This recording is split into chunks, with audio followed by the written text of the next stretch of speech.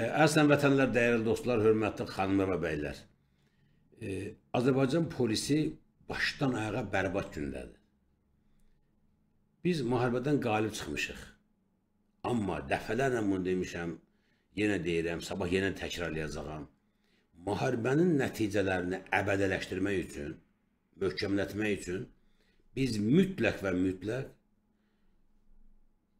nə etməli bilirsinizmi? Biz mütləq və mütləq e, daxildə problemlərimizi həll eləməliyik. Daxili problemlərimizi mütləq həll eləməliyik ki, dövlət daxildən güclü olsun.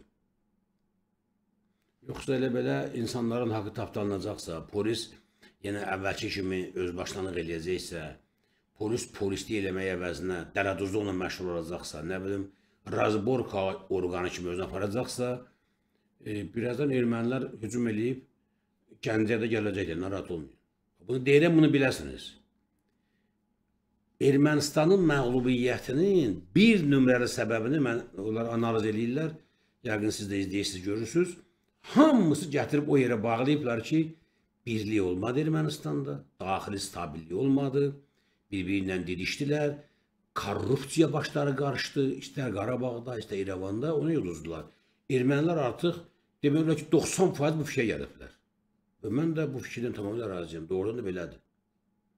İstənilən bir dövlətin məğlubiyyəti daxildən onun parçalanmasından keçir. Ona görə mən bayaqlar dediyimiz sizə ordumuz haqqında sanki bir sehirli çubuğun əmri ilə bu eyiblər yayılmağa başlayıb. Bunu görürəm. Kənarda o qədər aydın göstərir ki, bu şeylər. Ki, bir, müharibənin gedişində bir dənə də olsun şəhid yox idi ordudan. Hə?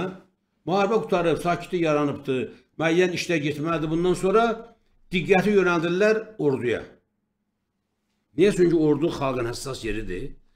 E, orduya görə bəli Azərbaycan xalqı ayağa qalxa bilər, daxildə qarşıdurmalar yarana bilər. Niyə? Bu kimə xeyirdir? Bu günlər əzizən vətənlər, müharibənin qələbələri bərkinməmiş, daxilimizdə baş verəcək istənilən qarşıdurma düşmənə xeyirdir. Ona görə biz asta-asta daxili problemlərimizi gündəmə gətirməliyik